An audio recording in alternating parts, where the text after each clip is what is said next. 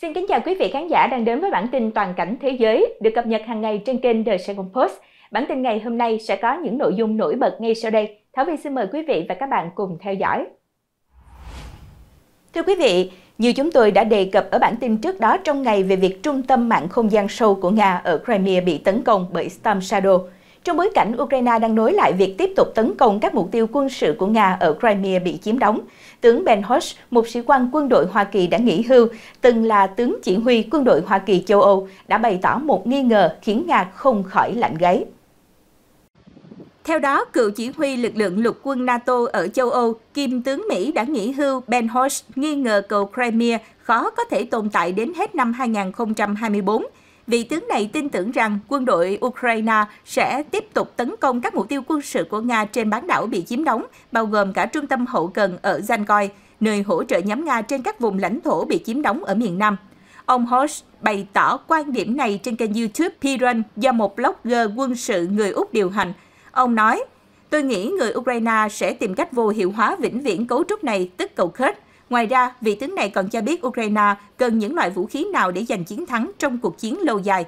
Hãy nhìn xem, người Ukraine không có đủ pháo binh và vũ khí chính xác. Tôi nghĩ điều này ai cũng biết nhưng vẫn chưa quá muộn. Tôi tin rằng Nga không đủ sức mạnh, không có cách nào xuyên thủng hàng phòng ngự của Ukraine và tiến về phía Kharkov và Kiev. Hệ thống hậu cần của Nga cực kỳ mong manh, nó chưa bao giờ được thiết kế để hỗ trợ các hoạt động trên bộ dài hạn bên ngoài Nga. Và do đó, đây là điểm yếu mà Ukraine phải khai thác để tấn công tầm xa và phá hoại. Sĩ quan quân đội này nói, Trước đó, ông Horst cho rằng việc giải phóng Crimea sẽ trở nên tất yếu ngay khi các đối tác phương Tây cung cấp cho Ukraine vũ khí tầm xa. Vị tướng này cũng lưu ý rằng Bộ Tổng tham mưu các lực lượng vũ trang Ukraine đang hoàn toàn lấn át người Nga. Cuộc phản công của Ukraine không chỉ giới hạn ở các hoạt động ở hướng Nam. Thưa quý vị, không thể đánh bại các chiến binh Ukraine ở trên chiến trường, lực lượng chiếm đóng của Nga đã tiếp tục khủng bố người dân Ukraine bằng máy bay không người lái tấn công Shahed vào hôm nay 21 tháng 12. Được biết, lực lượng phòng không đã tiêu diệt được hơn 30 mục tiêu địch đang lao tới. Điều này đã được RBC Ukraine đưa tin có liên quan đến lực lượng không quân của lực lượng vũ trang Ukraine trên Telegram. Quân đội Nga đã bắn 35 máy bay không người lái Shahed-136131 trên khắp Ukraine, tấn công từ ba hướng, Chauya, Crimea bị chiếm đóng, Primorsko, Akhtarsk và Kursk, Nga. Điều đáng lưu ý là cuộc tấn công bằng máy bay không người lái xảy ra theo từng đợt vào các thời điểm khác nhau trong khoảng thời gian từ 20 giờ ngày 20 tháng 12 đến 3 giờ 30 phút ngày 21 tháng 12. Trong một tuyên bố, không quân cho biết, đêm nay ở các hướng khác nhau, lực lượng bảo vệ bầu trời đã bắn hạ 34 trong số 35 máy bay không người lái tấn công của đối phương được phóng đi. Phòng không hoạt động ở các vùng Kyiv, Dnepropetrovsk, Vinnytsia, Cherkasy, Kherson, Zaporozhye, Nikolaev, Khmelnytsky, Sumy, Botava, Chernigov và Kirikovgrad hàng công chiến thuật, các đơn vị hỏa tiễn phòng không và các nhóm hỏa lực cơ động của lực lượng không quân và phòng vệ Ukraine đã tham gia đẩy lùi cuộc tấn công trên không.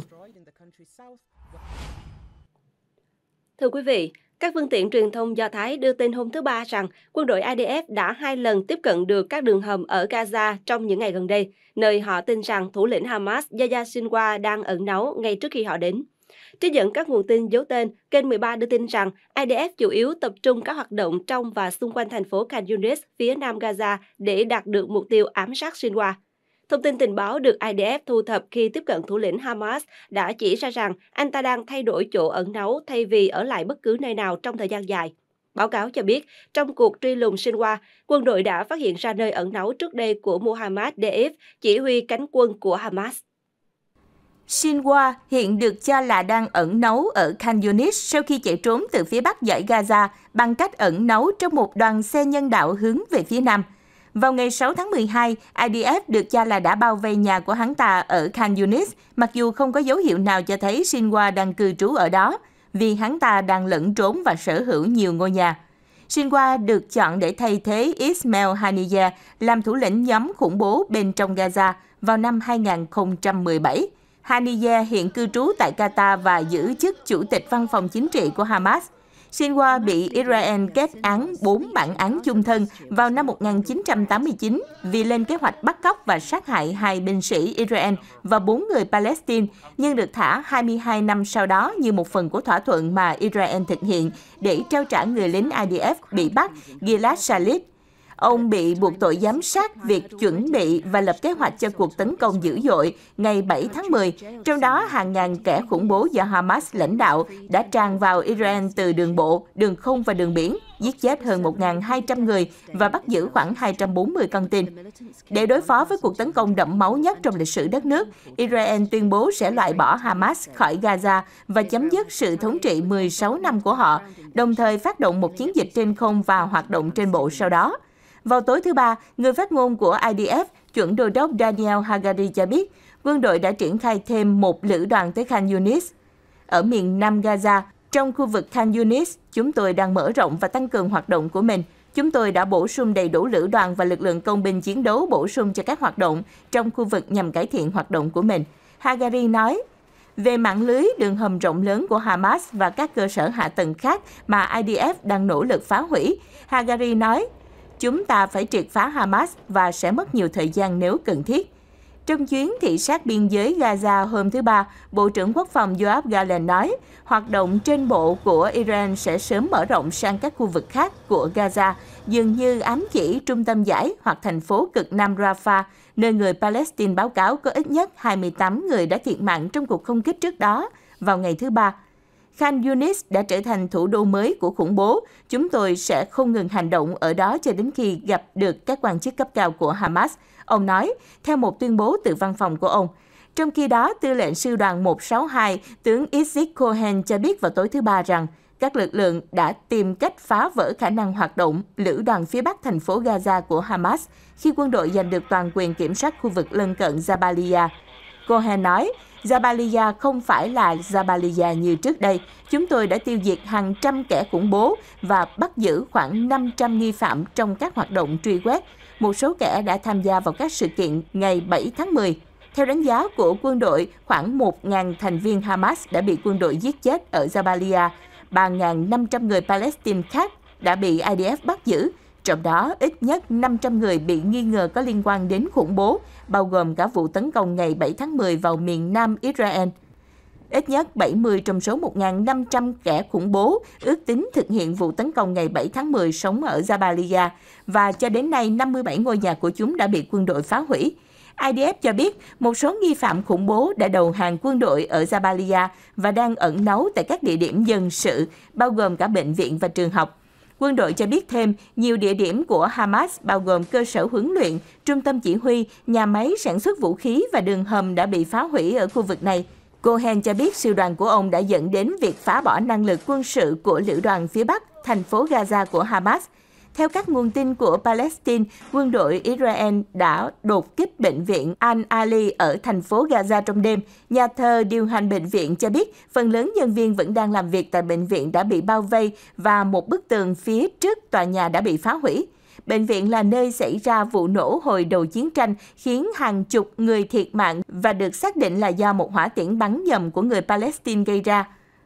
Don Binder, mục sư tại nhà thờ Anh giáo San Jose, Nơi điều hành bệnh viện cho biết cuộc đột kích trong đêm chỉ khiến hai bác sĩ, bốn y tá và hai người lao công chăm sóc hơn 100 bệnh nhân bị thương nặng, không có nước và điện. Ông nói thêm rằng một chiếc xe tăng của Iran đậu trên đống đổ nát ở lối vào bệnh viện, ngăn chặn bất cứ ai ra vào. Israel từ lâu đã khẳng định rằng Hamas sử dụng các bệnh viện bên trong Gaza cho mục đích quân sự và kể từ khi bắt đầu chiến tranh, IDF đã hoạt động bên trong các bệnh viện ở phía Bắc Gaza, đưa ra bằng chứng ủng hộ tuyên bố của mình. Bộ Y tế do Hamas điều hành ở giải Gaza cho biết, kể từ khi bắt đầu chiến tranh, hơn 19.600 người đã thiệt mạng, hầu hết là dân thường. Những con số này không thể được xác minh độc lập và được cho là bao gồm khoảng 7.000 thành viên khủng bố hoặc có liên kết với Hamas, cũng như thường dân thiệt mạng do hỏa tiễn bắn nhầm của người Palestine. Thủ lĩnh Houthi cảnh báo họ sẽ đánh trả nếu Washington nhắm mục tiêu vào nhóm này bằng cách tập kích chiến hạm Mỹ với hỏa tiễn UAV. Chúng tôi sẽ không đứng yên nếu Mỹ muốn leo thang hơn nữa và thực hiện hành vi dại dột là nhắm mục tiêu vào Yemen hoặc mở cuộc chiến nhằm vào đất nước chúng tôi. Abdel Malek al-Houthi, thủ lĩnh lực lượng Houthi ngày 20 tháng 12 tuyên bố, chúng tôi sẽ nhắm mục tiêu vào họ. Ông al-Houthi cảnh báo nhóm vũ trang tại Yemen sẽ biến chiến hạm, lợi ích và hoạt động hàng hải của Mỹ thành mục tiêu cho hỏa tiễn, máy bay không người lái và các hoạt động quân sự của chúng tôi. Chừng nào người Mỹ muốn tham gia cuộc chiến trực tiếp với chúng tôi, họ nên biết rằng chúng tôi không sợ họ và Mỹ đang đối mặt với cả dân tộc. Ông Al-Houthi nói, thủ lĩnh Houthi cũng cảnh báo Mỹ không nên điều binh sĩ tới Yemen vì họ sẽ đối mặt với những điều khắc nghiệt hơn tại Afghanistan. Thủ lĩnh Al-Houthi ra tuyên bố sau khi Mỹ thông báo đang xây dựng lực lượng hải quân chuyên trách đa quốc gia bảo vệ các tàu hàng đi qua Biển Đỏ để đối phó với các vụ tập kích do Houthi thực hiện. Theo ngũ giác đài, lực lượng Houthi đã mở hơn 100 vụ tập kích UAV và hỏa tiễn nhằm vào tàu hàng đi qua khu vực. Đại diện Houthi tuyên bố các vụ tập kích nói trên của nhóm nhằm thể hiện đoàn kết với người Palestine khi Israel mở chiến dịch nhằm vào giải Gaza để đáp trả vụ tấn công ngày 7 tháng 10 của Hamas. Trong bài phát biểu ngày 20 tháng 12, thủ lĩnh Houthi kêu gọi các nước không tham gia lực lượng hải quân chuyên trách do Mỹ dẫn đầu vì điều này sẽ đe dọa lợi ích của họ tại Biển Đỏ. Khi các vị cùng Mỹ phục vụ Israel, các vị đang làm liên lụy đến công dân của mình theo mọi góc độ, ông Al-Houthi cho biết. Houthi là nhóm vũ trang được Iran hậu thuẫn và đang kiểm soát nhiều khu vực ở phía tây Yemen, trong đó có thủ đô Sanaa.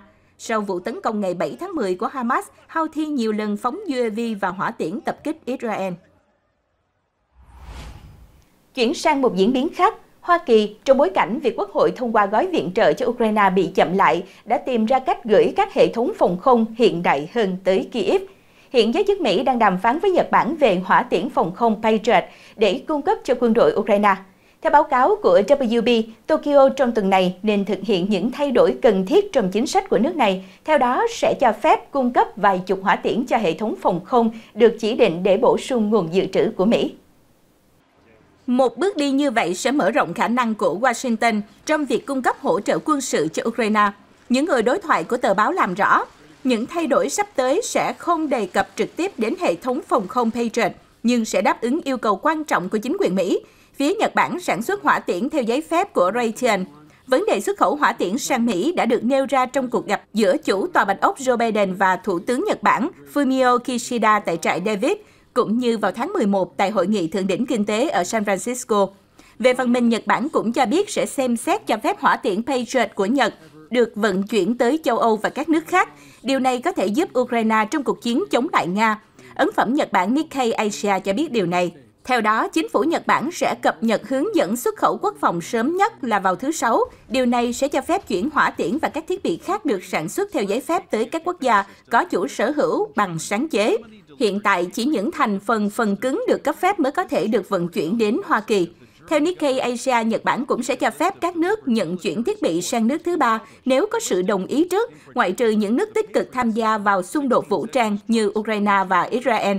Mặc dù điều này sẽ ngăn cản Washington trực tiếp gửi hỏa tiễn Patriot do Nhật Bản sản xuất tới Kyiv, nhưng nó sẽ giúp Mỹ có thêm không gian để tiếp tục cung cấp cho Ukraine vũ khí do Mỹ sản xuất. Bước đầu tiên, Hội đồng An ninh Quốc gia Nhật Bản có kế hoạch phê duyệt các chuyến hàng hỏa tiễn Patriot tới Hoa Kỳ vào cuối năm nay. Washington đã yêu cầu cung cấp vì nguồn cung của họ đang cạn kiệt. Mark Kansian, cố vấn cấp cao tại Trung tâm Nghiên cứu Chiến lược và Quốc tế ở Washington cho biết trong một báo cáo hồi tháng 10 rằng hỏa tiễn Patriot hiện đang được Ukraine, Israel và Đài Loan sử dụng. Kansian cho biết Mỹ có thể cung cấp nguồn cung cấp cho các quốc gia này, nhưng sẽ gặp phải một số khó khăn trong việc đánh đổi sau này. Trước đó có thông tin rằng Kyiv và Washington đã ký thỏa thuận về việc cùng sản xuất hệ thống phòng không lai Rankensam. Chúng ta đang nói về việc tạo ra các hệ thống phòng không có thể phóng hỏa tiễn hiện đại của Mỹ từ các cơ sở do Liên Xô sản xuất. Tuần trước, chính phủ Đức đã thông báo chuyển giao cho Ukraine hệ thống phòng không Patriot thứ hai và hỏa tiễn cho hệ thống này. Người Nga phẫn nộ khi tòa nhà chung cư sụp đổ ở trung tâm San Petersburg. Một khu chung cư 6 tầng bị sập ở trung tâm San Petersburg vào rạng sáng ngày 20 tháng 12, làm dấy lên sự phẫn nộ từ người Nga, những người cáo buộc chính quyền địa phương sơ suất. Vụ việc xảy ra vào khoảng 2 giờ sáng khi khu nhà nằm ở phố Gorokhovaya của thành phố đang được sửa chữa. Vài giờ trước đó, một phần bức tường của tòa nhà đã bị sập một phần. Truyền thông địa phương đưa tin, Bộ Tình trạng khẩn cấp Nga cho biết khối nhà không có người ở khi nó sụp đổ. Hiện chưa rõ liệu có thương vong hay không. Kênh tin tức truyền hình địa phương 78 đã công bố những đoạn phim và hình ảnh cho thấy những lỗ hổng trên tường bên trong tòa nhà, đống đổ nát trên sàn và lớp thạch cao bị sập. Một bức ảnh khác cho thấy một vết nứt dọc theo toàn bộ chiều cao của khu chung cư. Theo hãng tin Fontanka ở Saint Petersburg, tòa nhà không được công nhận là không an toàn, mặc dù một số người đã nhận thấy những vết nứt lớn xuất hiện trên tường của tòa nhà vài năm trước.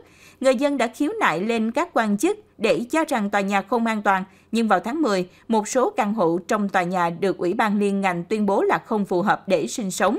Một người dân cho biết có những vết nứt lớn đến nỗi bàn tay của bạn có thể lọt vào. Một số người dùng mạng xã hội cho rằng những người không tuyên bố tòa nhà là không an toàn sẽ phải đối mặt với hành động pháp lý. Các quan chức và chuyên gia không công nhận ngôi nhà không an toàn nên ra tòa, một người bình luận dưới bài báo của Fontanka. Các quan chức có trách nhiệm bị xét xử, một người khác đã viết. Tại sao cơ quan chức năng không kịp thời công nhận ngôi nhà không an toàn? Một người hỏi. Những người khác chỉ ra những lỗi ở những nơi khác trong thành phố. Thành phố đã biến thành một bãi rác, khắp nơi đều có băng và nước với tuyết bẩn. Trên băng có rác, những tòa nhà đẹp đẽ trong tình trạng tồi tàn. Một người nói, một người khác đổ lỗi cho quan chức thành phố cho rằng công việc mà chính quyền địa phương thực hiện hiện nay là không đạt yêu cầu. Bạn nhìn đâu cũng thấy sự sụp đổ. Việc xây dựng tàu điện ngầm hoàn toàn thất bại, cơ sở hạ tầng đường bộ tuột hậu cả thập niên, giá xử lý chất thải tăng theo cấp số nhân, nhưng các nhà máy tái chế vẫn chưa được xây dựng, nhà cửa sụp đổ, đường phố mùa đông. Việc dọn dẹp nói chung là một cơn ác mộng, các phòng cấp cứu không thể tiếp nhận nạn nhân, thật xấu hổ cho thành phố, họ nói. Trong một diễn biến khác, công tố viên liên bang Đức Peter Frank đang tìm cách thu giữ 720 triệu euro, tương đương 787 triệu Mỹ Kim, trong các quỹ của Nga bị đóng băng ở Đức sau cuộc xâm lược toàn diện của Vladimir Putin vào Ukraine. Trong bối cảnh đang có cuộc tranh luận về cách chuyển tài sản bị tịch thu từ Moscow sang Kyiv, Frank đã nộp đơn lên tòa án khu vực cấp cao Frankfurt Amen để tịch thu số tiền thuộc về Trung tâm Lưu ký Thanh toán Quốc gia NSD của công ty con Sở Giao dịch Chứng khoán Moscow đã bị EU trừng phạt vào tháng 6 năm 2022, Der Spiegel đưa tin. Nhà nước Đức chỉ đóng bằng tiền và tài sản của các cá nhân và công ty Nga bị trừng phạt vẫn là chủ sở hữu tài sản nếu họ không thể xử lý chúng.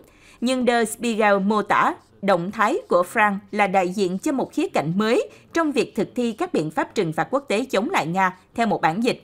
Số tiền đã được gửi vào chi nhánh Đức của ngân hàng Mỹ JP Morgan. Công ty con đã cố gắng chuyển số tiền mà các nguồn tin cho biết có thể là một nỗ lực nhằm lách các biện pháp trừng phạt và do đó là một tội ác. Nếu số tiền này bị tịch thu, chúng sẽ được chuyển vào ngân sách liên bang của Đức và sẽ đánh dấu sự thay đổi quan điểm của Berlin đối với tài sản của Nga mà nước này nắm giữ. Der Spiegel đưa tin rằng số tiền này sẽ không được dành riêng cho ngân sách nhà nước và đã có những lời kêu gọi sử dụng quỹ Nga bị tịch thu để giúp đỡ nỗ lực của Ukraine chống lại sự xâm lược của Nga. Theo hãng tin AP, Bộ trưởng Tư pháp Marco Bushman cho biết, Chúng tôi sẽ không cho phép các khoản tiền của Nga được sử dụng để tài trợ cho cuộc chiến tranh xâm lược bất hợp pháp chống lại Ukraine được giữ trong tài khoản của Đức mà không bị phản đối. Vào tháng 6, các nhà lãnh đạo Liên minh châu Âu đã thúc đẩy các quan chức cấp cao tìm cách hợp pháp để chuyển số tiền thu được từ hàng tỷ Mỹ Kim tài sản bị phong tỏa của Nga sang giúp tái thiết Ukraine. Khối này đã đóng bằng hơn 300 tỷ Mỹ Kim tài sản của Ngân hàng Trung ương Nga kể từ khi bắt đầu chiến tranh và 30 tỷ euro tài sản cá nhân khác của các nhà tài phiệt Nga cũng bị phong tỏa. Vào tháng 10, người đứng đầu văn phòng Tổng thống Ukraine Andriy Yermak cho biết Mỹ và EU đang làm việc về các thủ tục pháp lý để chuyển tài sản bị phong tỏa sang Ukraine. Ngoại trưởng Antony Blinken tuyên bố trong chuyến thăm Kyiv vào tháng 9 rằng Hoa Kỳ có kế hoạch tài trợ cho các cựu quân nhân Ukraine từ tài sản tịch thu từ các nhà tài phiệt Nga bị trừng phạt. Hôm thứ Tư, trích dẫn một nguồn tin giấu tên của EU, cơ quan nhà nước Nga TASS cho biết Brussels sẽ không dỡ bỏ các lệnh trừng phạt đối với Nga ngay cả khi cuộc chiến xâm lược ở Ukraine chấm dứt và một thỏa thuận hòa bình được ký kết. Thưa quý vị, không còn nghi ngờ gì nữa, EU và Mỹ đã hỗ trợ đáng kể cho Ukraine kể từ cuộc xâm lược của Nga vào tháng 2 năm 2022. Theo Viện Kiel, các tổ chức châu Âu đã cung cấp khoảng 85 tỷ euro, 92,7 tỷ đô la hỗ trợ tài chính và quân sự cho Ukraine cho đến ngày 31 tháng 10. Viện trợ song phương từ các quốc gia thành viên EU lên tới 50 tỷ euro, 54,5 tỷ đô la, trong khi Mỹ đã cung cấp thêm 77,4 tỷ đô la viện trợ tài chính và thậm chí nhiều thiết bị quân sự đạn dược hơn. Sự hỗ trợ này đã đóng một vai trò quan trọng trong việc giúp các lực lượng Ukraine có thể chống chọi hiệu quả với những kẻ xâm lược Nga hùng mạnh hơn nhiều. Tuy nhiên, dòng viện trợ của phương Tây đến Ukraine đang đối mặt với những thách thức nghiêm trọng và thủ phạm chính là Thủ tướng Hungary Viktor Orbán ở EU và những đảng viên Cộng hòa theo chủ nghĩa biệt lập ở Mỹ. Điều này không khỏi làm dấy lên nghi vấn liệu EU và Mỹ có muốn đánh bại Putin ở Ukraine hay họ sẽ dàn xếp một trận hòa. Châu Âu đã thành công trong việc giảm bớt sự phụ thuộc vào khí đốt của Nga và phương Tây đã áp đặt các biện pháp trừng phạt nghiêm khắc đối với quốc gia xâm lược. Không thể phủ nhận các biện pháp trừng phạt đã khiến cuộc sống của Điện Kremlin trở nên khó khăn hơn. Vào ngày 14 tháng 12, Liên minh châu Âu đã thực hiện một bước quan trọng bằng việc khởi động quá trình để Ukraine và Moldova gia nhập liên minh. Đó là một cử chỉ quan trọng và một tin tức tuyệt vời gửi đi một thông điệp chính trị lớn tới Putin. Trong khi đó, các nước châu Âu đang tăng cường chi tiêu quân sự. Phần Lan mới gia nhập NATO và Thụy Điển cũng sắp tham gia. Tất cả những điều này nghe có vẻ rất ấn tượng, nhưng sự thật lại kể một câu chuyện khác. Viện trợ của phương Tây luôn nhất quán nhưng thận trọng và vũ khí chỉ được cung cấp sau khi cân nhắc và đàm phán kéo dài. Có lẽ hành động nhanh hơn sẽ mang lại kết quả tốt hơn. Các nhà lãnh đạo phương Tây lựa chọn lời nói rất cẩn thận và ngần ngại nói bất cứ điều gì về việc theo đuổi việc đánh bại hoàn toàn Nga ở Ukraine. Thay vào đó, họ nói về việc hỗ trợ Kyiv trong thời gian cần thiết và ngăn cản Putin đạt được chiến thắng. Thận trọng là hợp lý trong bối cảnh Nga có kho vũ khí hạt nhân khổng lồ và tuyên bố sẵn sàng sử dụng kho vũ khí này của Putin. Mối đe dọa thực sự đã gieo rắc nghi ngờ trong mọi động thái quân sự của phương Tây. Liệu điều này có vượt qua ranh giới đỏ không? Thực tế cho thấy các gói viện trợ mới từ EU và Mỹ không chỉ bị chặn mà còn có sự sụt giảm đáng kể về hỗ trợ trong nửa cuối năm 2023. Các cam kết và giải ngân mới thấp hơn nhiều so với các kỳ trước. Không cần phải hoảng sợ, cuối cùng thì Mỹ có thể sẽ vượt qua được và EU sẽ tìm ra cách vượt qua sự phản đối của Orbán. Một cách tiếp cận tương tự đã được thực hiện khi Thủ tướng Anh David Cameron giải quyết nhu cầu cải cách nhằm củng cố đồng euro vào năm 2011. Các nhà lãnh đạo Đức và Pháp đã đưa ra kế hoạch B để hoàn thành công việc. Vì vậy, EU có thể sẽ tiếp tục hỗ trợ Ukraine, có thể thông qua các gói viện trợ song phương. Nhưng con đường này dẫn tới đâu? Sự thật là Putin đã khắc phục thành công kế hoạch kém cỏi của cuộc xâm lược ban đầu và phục hồi sau cuộc phản công đáng chú ý của Ukraine vào tháng 9 năm 2022. Nga đã tăng cường phòng thủ tiền tuyến và nâng cao khả năng sản xuất vũ khí trong nước để vô hiệu hóa một cách hiệu quả cuộc phản công của Ukraine vào năm 2023. Một dòng viện trợ ổn định cho Ukraine dự kiến sẽ kéo dài tình trạng bế tắc quân sự hiện tại, nhưng đây không phải là một kết luận bỏ qua. Ukraine được thúc đẩy bởi ý chí sinh tồn của dân tộc và Nga được lãnh đạo bởi một sao hoàng có bàn tay sắt, nhưng cả hai đều có những điểm yếu nghiêm trọng và vai trò của phương Tây sẽ rất quan trọng. Về phía Ukraine, những rạn nứt sẽ bắt đầu xuất hiện do tinh thần thiếu hụt vũ khí để chống lại cỗ máy chiến tranh Nga. Về phía Nga, chi phí kinh tế, xã hội để duy trì chiến tranh sẽ trở nên không bền vững. Mặc dù thật nản lòng khi thấy Putin củng cố quyền lực, nhưng vị thế của ông không được bảo đảm như người ta tưởng. Nguồn lực mà ông ấy đổ vào nỗ lực chiến tranh là rất lớn. Theo một nghiên cứu của Viện Nghiên cứu Hòa bình Quốc tế Stockholm, 35% ngân sách chính phủ Nga được phân bổ cho chi tiêu quân sự vào năm 2024. Mức chi tiêu quốc phòng này chưa từng thấy kể từ khi chiến tranh lạnh kết thúc và sự sụp đổ của Liên Xô. Đô đốc Anh Tony Radakin cho biết, người cũng lưu ý rằng Nga chi tiêu cho chiến tranh hơn là cho chăm sóc sức khỏe và giáo dục cộng lại. Sự tăng nhẹ của hỗ trợ phương Tây sẽ làm suy yếu thêm vị thế của Nga. Chắc chắn Putin sẽ đấu tranh để giữ quyền lực bằng mọi giá. Tuy nhiên, có những giới hạn về việc ông ta có thể đi bao xa và người dân sẽ cho phép ông ta làm bao nhiêu các nước phương Tây có đủ sức mạnh để phá vỡ thế bế tắc hiện tại, nhưng đã chọn cách kiềm chế. Putin đã kiềm chế chơi con bài hạt nhân để phòng vệ trước sự leo thang thận trọng của sự hỗ trợ quân sự của phương Tây. Tại sao? Bởi vì Trung Quốc, một đồng minh quan trọng của Nga, rõ ràng đang phản đối điều đó. Tuy nhiên, chúng ta không nên đánh giá thấp nguy cơ Putin sử dụng vũ khí hạt nhân để ngăn chặn thất bại hoàn toàn ở Ukraine hoặc để giữ lại Crimea có ý nghĩa chiến lược và mang tính biểu tượng. Chúng ta không được đánh giá thấp nguy cơ cắt giảm viện trợ cho Ukraine. Điều này có thể dẫn đến bế tắc hoặc thậm chí làm suy giảm vị thế của Kiev. Chúng ta muốn gì? Tiếp tục đầu tư hàng tỷ Mỹ Kim để duy trì tình trạng bế tắc, trong khi toàn bộ xã hội Ukraine phải gánh chịu. Một cuộc đình chiến kiểu Triều Tiên với đất nước bị chia cắt theo đường lối hiện tại, hay tình huống Putin mất thế đứng ở Ukraine và đối mặt với thách thức trong nước. Điều cấp bách nhất cần làm là mở khóa nguồn tài trợ mới cho Ukraine – Tuy nhiên, chỉ còn một năm nữa là chính quyền mới của Mỹ nhậm chức. Chúng ta phải đánh giá lại mục tiêu ở Ukraine. Việc giảm hỗ trợ dành cho Kyiv hoặc thậm chí duy trì ở mức hiện tại mang lại rủi ro cao hơn cho châu Âu so với việc tăng hỗ trợ. Thưa quý vị, Mỹ chưa mở chiến dịch đáp trả loạt vụ tập kích của Houthi vì nhiều lý do. Trong đó có câu hỏi về lợi ích thực sự của hoạt động này. Bộ trưởng Quốc phòng Mỹ Lloyd Austin ngày 18 tháng 12 thông báo lập liên minh 10 nước nhằm ứng phó các vụ tập kích của lực lượng Houthi tại Yemen nhằm vào tàu hàng qua Biển Đỏ. Liên minh này sẽ thực hiện chiến dịch bảo vệ thịnh vượng dựa trên nguồn lực của lực lượng hàng hải phối hợp thuộc hạm đội 5 của Mỹ đóng tại Bahrain. Động thái diễn ra sau khi lực lượng Houthi tại Yemen gần đây phóng nhiều hỏa tiễn và máy bay không người lái UAV nhằm vào tàu hàng đi qua Biển Đỏ, thậm chí nhằm mục tiêu vào chiến hạm Mỹ hoạt động trong khu vực. Đây được coi là phản ứng kiềm chế và mang tính đa phương của Mỹ thay vì mở chiến dịch tập kích đáp trả nhằm vào Houthi vốn tiềm ẩn nhiều thách thức với Washington. Giải pháp không đơn giản như nhiều người nghĩ. Tyler Rogoway, bình luận viên quân sự của Drive, cho biết, nhiều người có quan điểm cứng rắn cho rằng Houthi chỉ có thể hiểu vấn đề bằng vũ lực và Mỹ cần đáp trả kiên quyết ngay sau khi những con tàu đầu tiên bị tập kích. Mỹ có nhiều biện pháp đáp trả bằng quân sự như phóng hỏa tiễn hành trình từ tàu chiến tập kích, một số mục tiêu hạn chế, hay phát động chiến dịch không kích quy mô lớn, thậm chí là đưa quân tấn công trên bộ. Quân đội Mỹ đã cung cấp một số hình thức hỗ trợ cho Liên minh quân sự do Ả Rập Xê Út dẫn đầu trong cuộc chiến chống Houthi, nên cũng không xa lạ gì với lực lượng này. Tuy nhiên, tình hình hiện tại ở khu vực Trung Đông đã trở nên phức tạp hơn và tiềm ẩn nhiều hậu quả sâu rộng hơn so với trước. Iran và các lực lượng dân quân do nước này hậu thuẫn như Hezbollah ở Liban chưa tham gia tổng lực vào xung đột Israel-Hamas. Song nếu Mỹ tấn công lực lượng Houthi, họ nhiều khả năng sẽ mở mặt trận mới để thể hiện sự ủng hộ với nhóm. Lực lượng Mỹ tại Iraq và Syria gần đây thường xuyên bị tập kích khi các lực lượng trong trục kháng chiến do Iran dẫn dắt muốn thể hiện đoàn kết với nhóm Hamas ở Gaza. Thậm chí, Houthi cũng có khả năng gia tăng đáng kể các cuộc tấn công nhằm vào lực lượng Mỹ trong khu vực.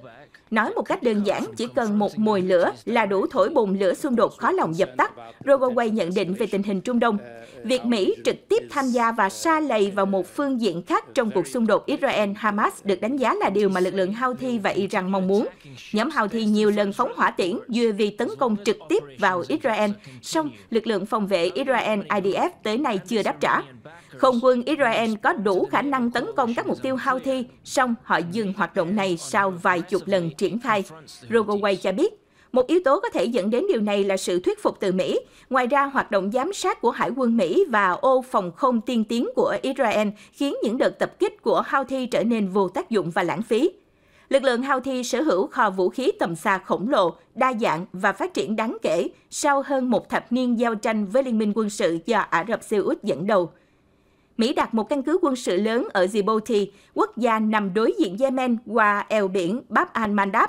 Căn cứ Djibouti nằm cách Yemen khoảng 160 km, nơi Mỹ triển khai phần lớn hoạt động xung quanh quốc gia Trung Đông này.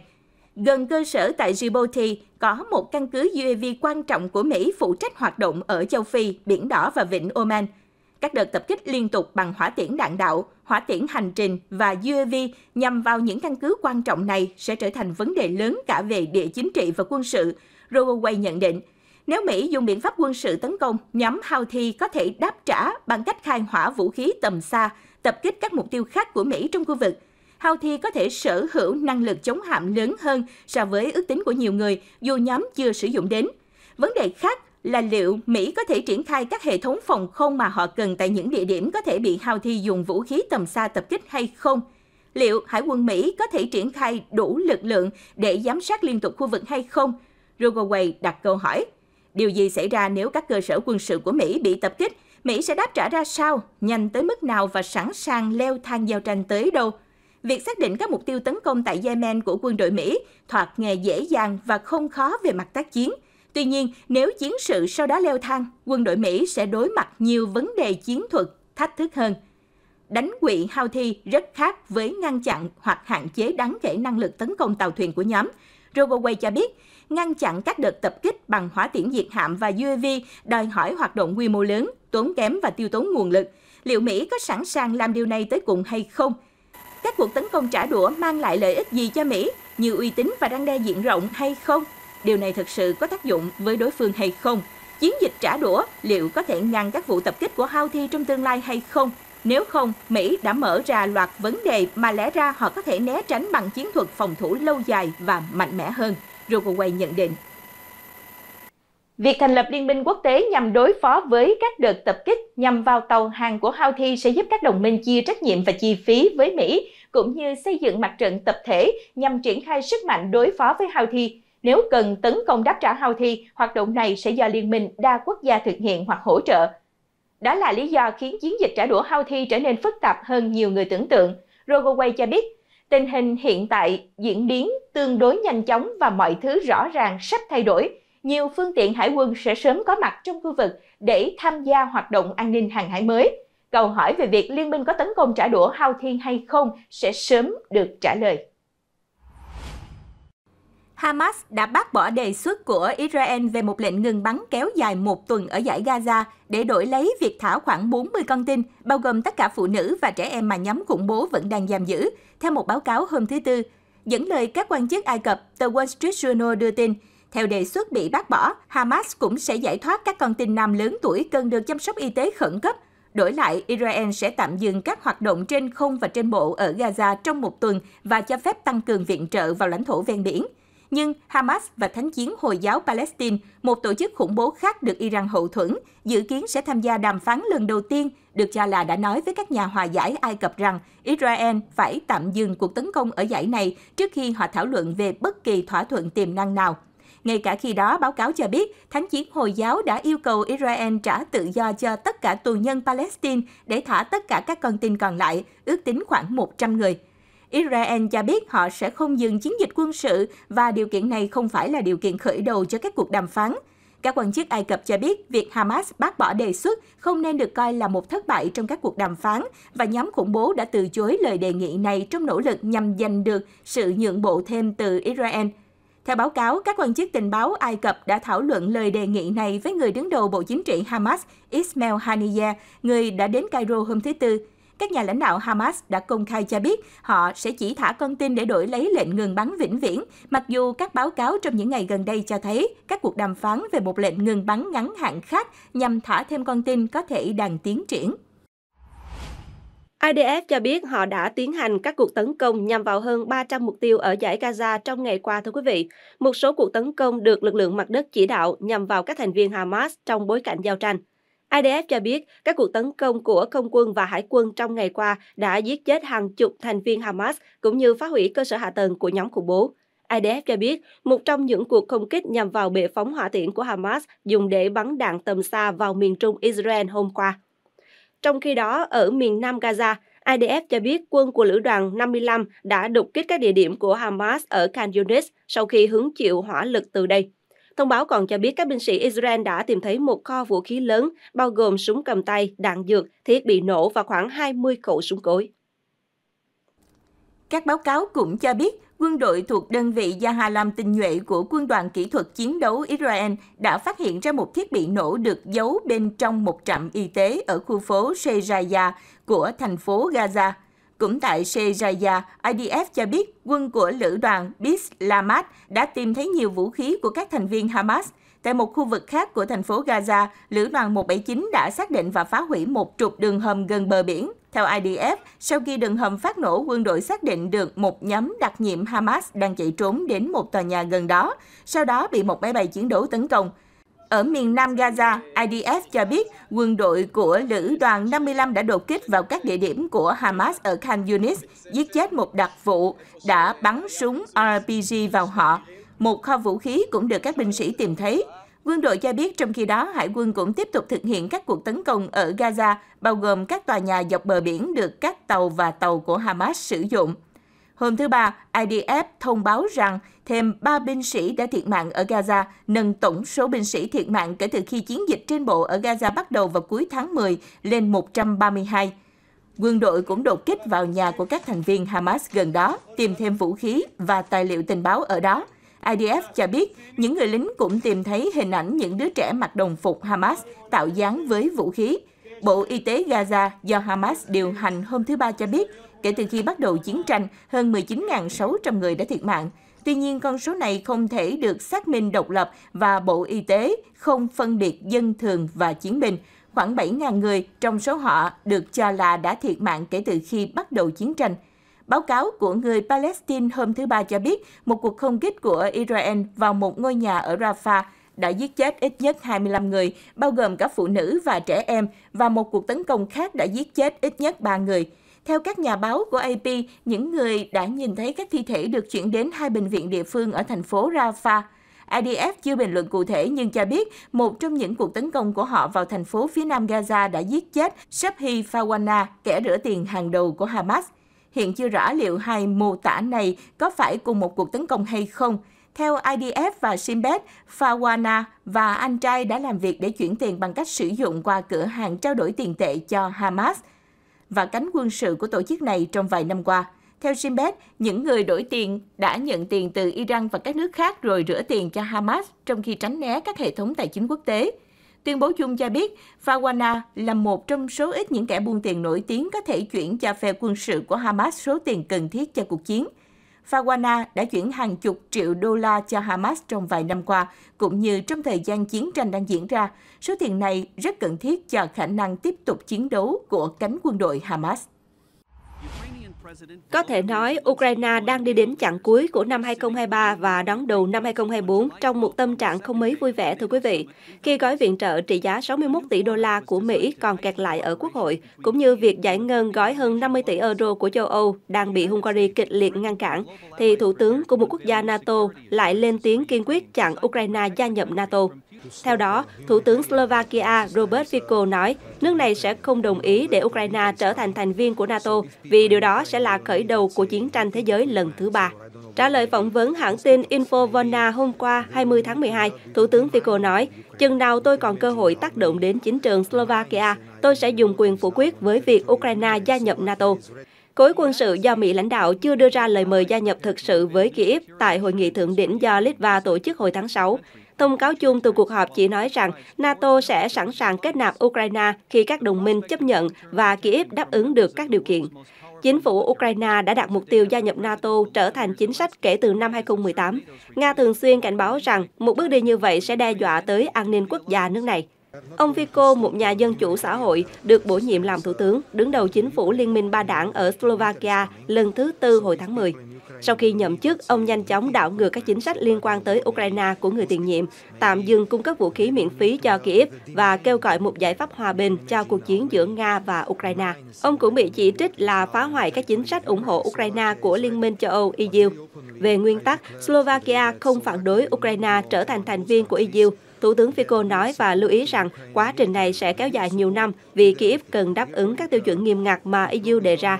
Nhà lãnh đạo Slovakia này cho biết, không giống nước láng giềng Cộng hòa Séc, Slovakia cũng không có ý định tịch thu bất động sản thuộc sở hữu của chính phủ Nga.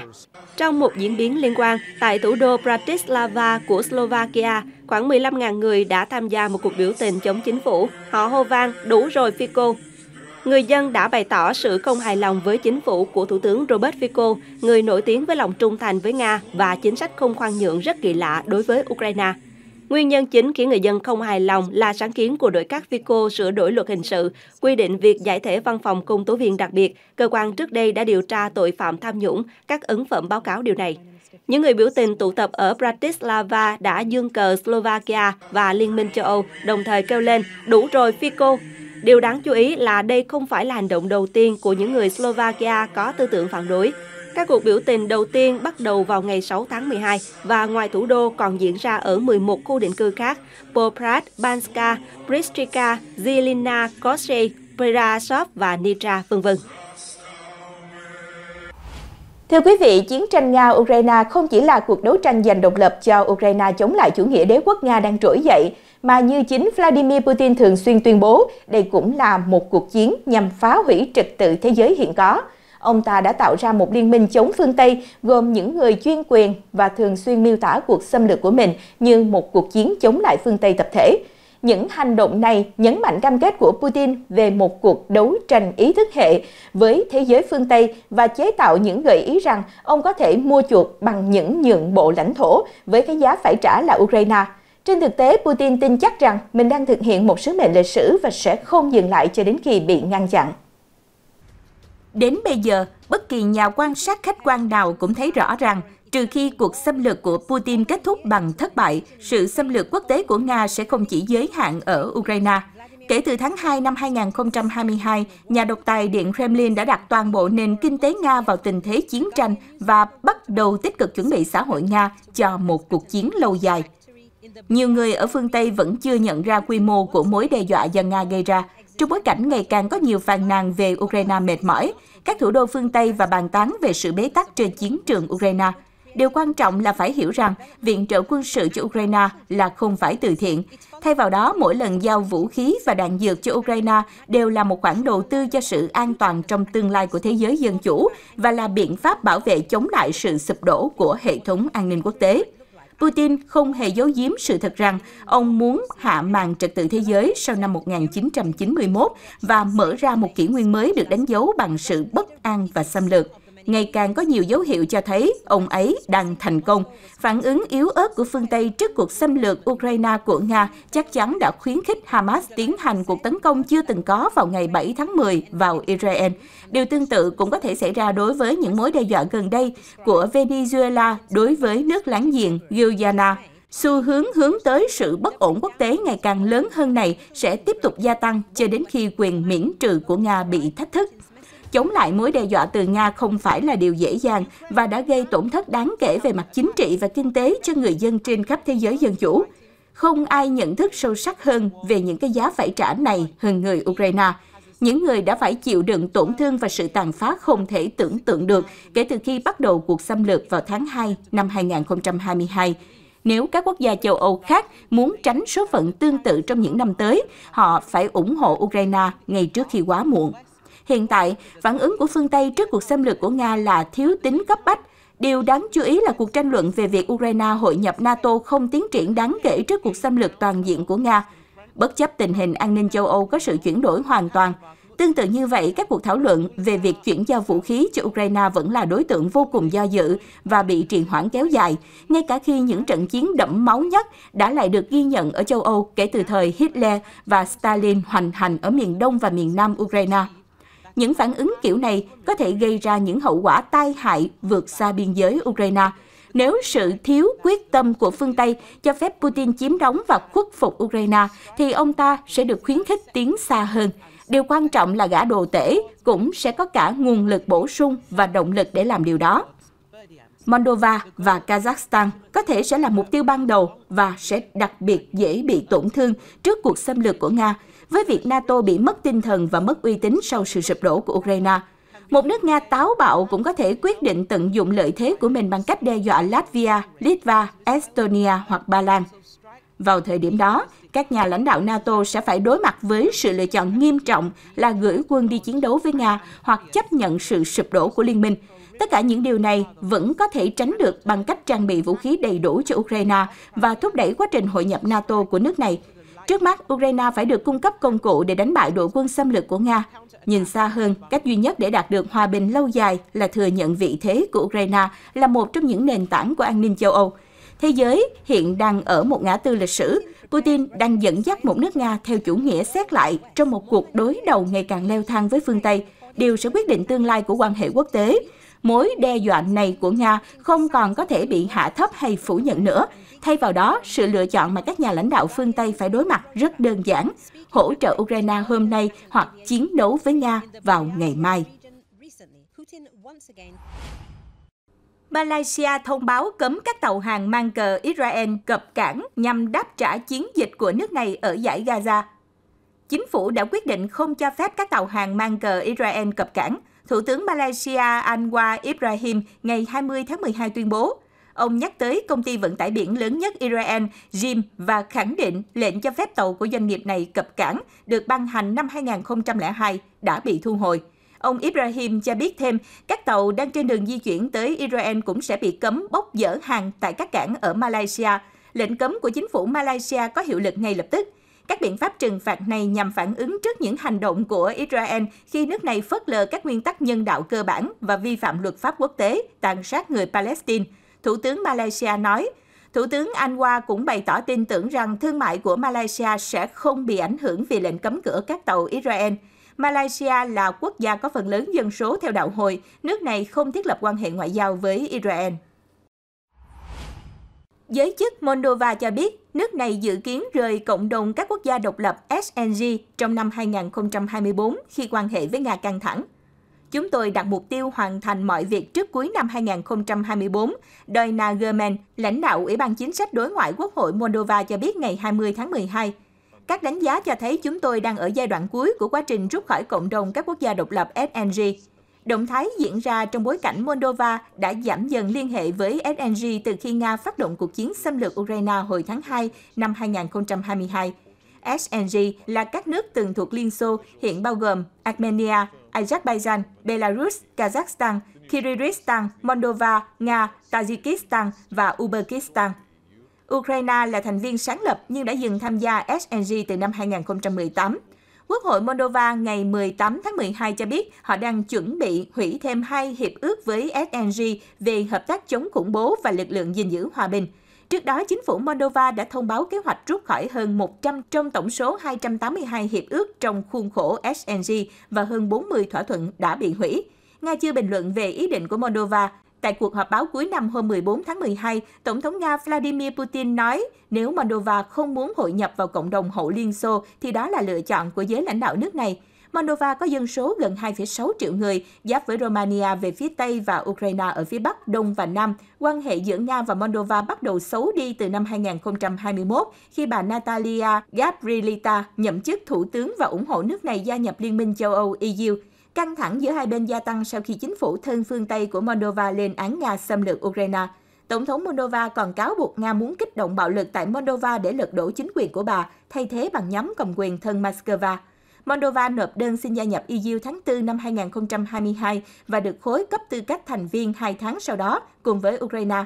EU tháng 11 đã nhất trí mở đàm phán về tư cách thành viên với Moldova và Ukraine, nhưng quá trình để hai nước chính thức gia nhập liên minh có thể mất nhiều năm. Thưa quý vị, mở đầu bản tin của chúng ta ngày hôm nay sẽ là một chiến công đẹp mắt của lực lượng phòng vệ. Theo đó, quân nhân Ukraine đã cho nổ tung xe tăng T-80 BVM của Nga ở gần làng Krinky, tả ngạn vùng Kherson. Hậu quả của một vụ nổ cực mạnh này là xe tăng T-80 BVM của Nga bị tiêu diệt hoàn toàn. Được biết vào lúc này, xe tăng T-80 BVM đang di chuyển về phía Krinoki thì bị quân đội Ukraine thuộc nhóm Burst of Madia tấn công bằng máy bay không người lái FPV Máy bay không người lái được trang bị hỏa tiễn chống tăng, bắn trúng xe tăng và gây ra vụ nổ mạnh ở đạn. Hậu quả của vụ nổ là chiếc T-80 BVM bị phá hủy hoàn toàn, một trong những vụ nổ hoành tráng nhất trong ký ức gần đây. Nhà báo quân sự Yuri Butusov bình luận trên video. Đoạn video là bằng chứng nữa cho thấy quân đội Ukraine tiếp tục kháng cự hiệu quả với quân đội Nga. Đến với một diễn biến vừa đá bóng vừa thổi còi đậm chất ngang ngố thưa quý vị, Tổng thống Nga Vladimir Putin phát biểu trong cuộc họp của Bộ Quốc phòng rằng Mỹ đã kích động Nga phát động chiến tranh ở Ukraine. Theo ông, mọi chuyện bắt đầu từ năm 2014 sau sự thay đổi chính quyền ở Kiev. Mỹ đã làm gì ở Ukraine? Trên thực tế, họ đã tước đi cơ hội của chúng tôi để xây dựng quan hệ với đất nước này một cách bình thường. Họ đã hành động vô pháp luật và lôi kéo Nga vào cuộc chiến ở Ukraine – Năm 2014, họ thực hiện một cuộc đảo chính và tiếp tục đi tiếp. Họ chỉ đơn giản là buộc chúng tôi phải đáp lại sự hỗn loạn này, ông Putin nói. Tiếp theo đó là việc sáp nhập Crimea. Trước đó, một số người mặc quân phục không có dấu hiệu nhận dạng đã xuất hiện trên bán đảo. Họ đã chiếm giữ và phong tỏa các đối tượng chính phủ và chiến lược. Putin sau đó thừa nhận rằng đây là quân đội Nga có nhiệm vụ bảo đảm cuộc trưng cầu dân Ý được tổ chức. Tại cuộc họp Hội đồng Quản trị, ông nói rằng bằng cách này, Nga đã quyết định ủng hộ Crimea, nếu không sau khi thay đổi quyền lực ở Ukraine sẽ có một cuộc thảm sát ở đó. Đối với Donbass, theo Putin, Moscow đã sẵn sàng dần dần khôi phục sự toàn vẹn lãnh thổ của Ukraine với một số điều kiện nhất định. Các thỏa thuận Minsk đã được ký kết cho việc này, nhưng Kiev và phương Tây đã phát động gần như một cuộc chiến tranh trong khu vực này và buộc Nga phải từng bước vào cuộc để người dân không bị tiêu diệt, rồi từ chối thực hiện các thỏa thuận thành lập quân đội Ukraine hiện tại. Theo Tổng thống, mục tiêu cuối cùng của những hành động này là kéo Ukraine vào NATO. Điều này không thể chấp nhận được đối với Nga. Putin tin rằng Hoa Kỳ là người được hưởng lợi từ tất cả những điều này. Hoa Kỳ sau khi giải quyết những vấn đề này của kế hoạch hiện tại đã xé nát Ukraine, cũng giống như việc họ tin rằng sẽ cắt đứt quan hệ của Nga với châu Âu. Thật không may về mặt này họ đã đạt được những gì họ muốn. Đơn giản là chúng tôi không thể cư xử khác đi được, Tổng thống Nga nói. Theo ông Putin, Mỹ hiểu rằng Nga không thể hành động khác nhưng vẫn tiếp tục giữ vững đường lối của mình. Ông lưu ý, họ cố tình lôi chúng tôi vào châu Âu vào cuộc xung đột này. Đây không phải là lần đầu tiên ông Putin cáo buộc Mỹ khơi mào cuộc chiến ở Ukraine. Trước đây, ông ta đã nói về điều này vào ngày 21 tháng 2 năm 2023, phát biểu trước Quốc hội Liên bang. Họ đã bắt đầu cuộc chiến và chúng tôi đang sử dụng vũ lực để ngăn chặn nó, ông Putin nói. Ông cũng lặp lại tuyên bố của mình rằng ông quyết định xâm chiếm Ukraine để bảo vệ người dân Donbass khỏi chủ nghĩa phát xít mới và để đẩy mối đe dọa NATO ra khỏi biên giới Nga. Ông cũng bày tỏ ý tưởng tương tự tại buổi trình bày chứng thư cho các đại sứ vào tháng 4 năm nay, lưu ý rằng sự khởi đầu của cuộc chiến tranh Nga-Ukraine là do Hoa Kỳ sử dụng các cuộc cách mạng màu để truyền bá ảnh hưởng của mình sang các nước khác. Thưa quý vị, trong bối cảnh tình hình trong khu vực ngày một trở nên căng thẳng hơn, Tổng thống Recep Tayyip Erdogan tuyên bố Thổ Nhĩ Kỳ sẵn sàng hòa giải nối lại các cuộc đàm phán giải quyết xung đột ở Ukraine. Chúng tôi sẵn sàng khôi phục tiến trình đàm phán từng bị gián đoạn ở Istanbul về giải pháp cho xung đột Ukraine. Đài truyền hình TRT Haber dẫn tuyên bố cùng Erdogan sau cuộc hội đàm với Thủ tướng Hungary Viktor Orbán ở Budapest. Theo Tổng thống Thổ Nhĩ Kỳ, cuộc khủng hoảng ở Gaza và xung đột ở Ukraine chỉ có thể được giải quyết bằng các biện pháp hòa bình.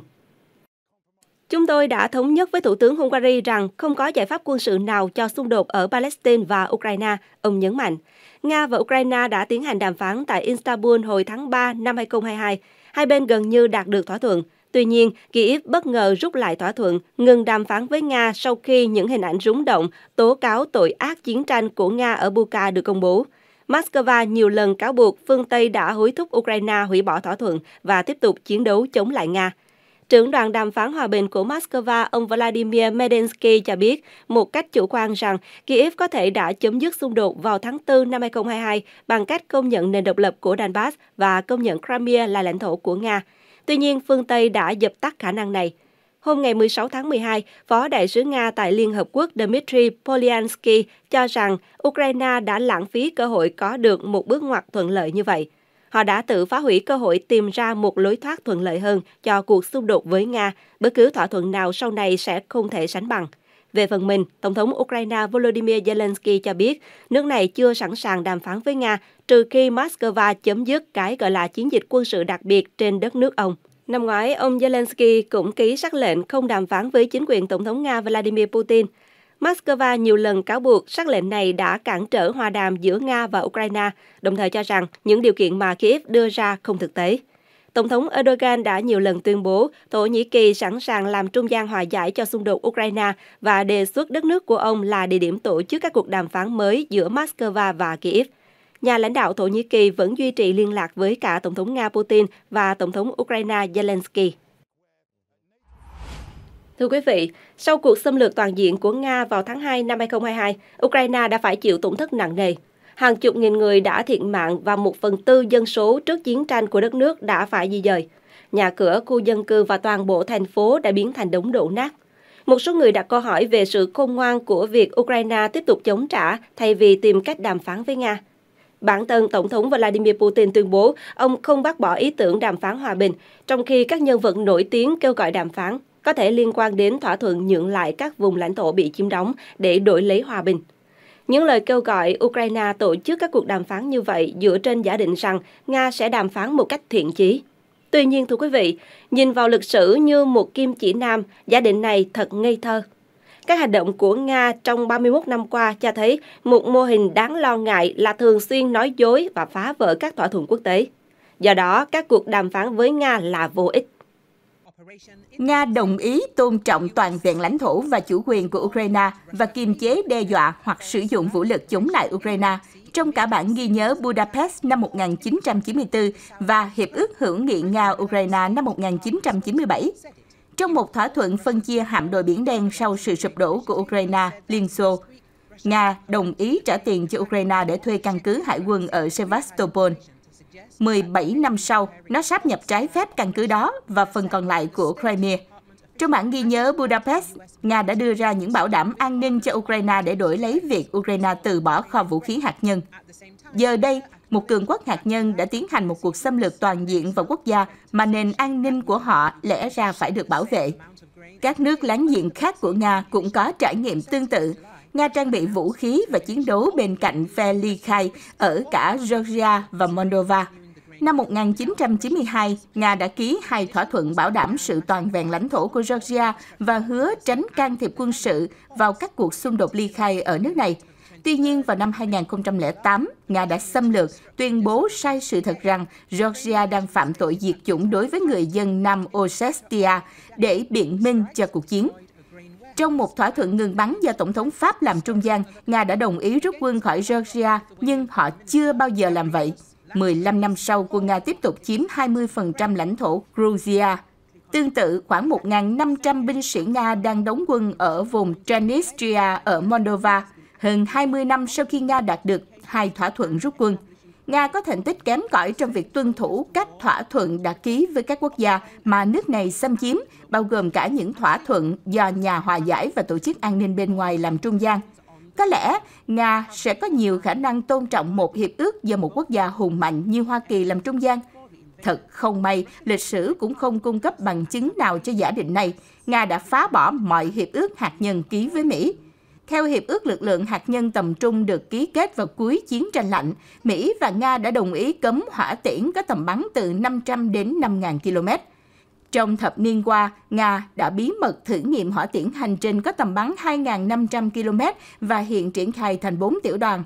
Năm nay, Nga đã đình chỉ tham gia hiệp ước STAR mới. Moscow đã từ chối khởi động lại các cuộc kiểm tra bắt buộc đối với kho vũ khí của mình sau khi tạm dừng sớm do đại dịch COVID-19. Ngay cả trong quan hệ với Mỹ, Nga vẫn sẵn sàng vi phạm các hiệp ước và từ bỏ chúng khi thuận tiện. Nga cũng tiến hành những nỗ lực ít tinh vi hơn nhằm can thiệp vào chính trị nước ngoài. Điện Kremlin đã cố gắng đảo chính ở Montenegro một năm trước khi nước này phê chuẩn việc gia nhập NATO. Tình báo phương Tây kết luận rằng một đơn vị đặc biệt của RIAU, Nga đã lên kế hoạch tấn công quốc hội Montenegro và ám sát thủ tướng vào ngày bầu cử quốc hội. Năm nay đã có cáo buộc cho rằng Nga đã lên kế hoạch cho một cuộc đảo chính tương tự ở Moldova. Việc Nga sẵn sàng phớt lờ chủ quyền của các quốc gia khác cũng được minh chứng bằng những vụ ám sát táo bạo nhằm vào các đối thủ chính trị giữa thanh thiên bạch nhật trên khắp châu Âu. Năm 2006, cựu điệp viên hai mang người Anh Alexander Litvinenko chết vì bệnh phóng xạ ở London sau khi uống một tách trà bị nhiễm độc polonium 210. Các nhà điều tra Anh kết luận vụ ám sát do đặc vụ FSB của Nga thực hiện có thể do Putin ra lệnh. Năm 2018, tình báo Nga đã đầu độc một cựu điệp viên khác là Sergei Skripal tại một công viên ở Salisbury. Anh ta sống sót sau nỗ lực đó, nhưng một người phụ nữ Anh đã chết sau khi vô tình tiếp xúc với chất độc. Năm sau, một chiến binh nổi dậy Chechen tên là Jelimkhan Kagosvili bị đặc vụ FSB bắn chết ngay giữa một công viên ở Berlin.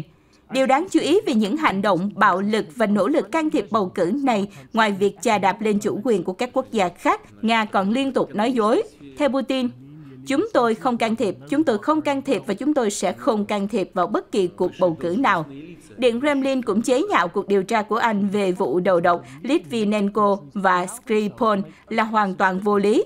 Phương thức hoạt động của Nga luôn là phủ nhận mọi thứ và không thừa nhận điều gì. Những người cho rằng đã đến lúc Ukraine phải đàm phán với Nga là không nhìn nhận đúng thực tế. Nga đã phá vỡ mọi hiệp ước hòa bình mà họ từng ký với Ukraine và nhiều hiệp ước khác với các quốc gia khác mà nước này đã gây ra bạo lực. Điện Kremlin hoạt động mà không quan tâm đến các nước láng giềng, Hoa Kỳ, các nước châu Âu hay bất kỳ ranh giới đạo đức hoặc pháp lý nào. Putin không ngần ngại can thiệp vào các cuộc bầu cử dân chủ, âm mưu đảo chính hoặc giết chết người, ngay cả trên đất NATO.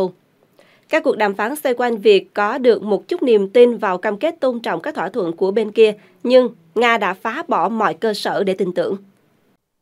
Kính thưa quý vị, và những thông tin vừa rồi cũng đã kết thúc bản tin toàn cảnh thế giới của The Sài Gòn Post ngày hôm nay. Cảm ơn quý vị và các bạn đã lựa chọn The Sài Gòn Post là nơi để cập nhật tin tức nhanh chóng và chân thực. Kính chúc quý vị và gia đình luôn mạnh khỏe và bình an. Thảo Vi xin trân trọng kính chào và hẹn gặp lại quý vị trong những bản tin tiếp theo.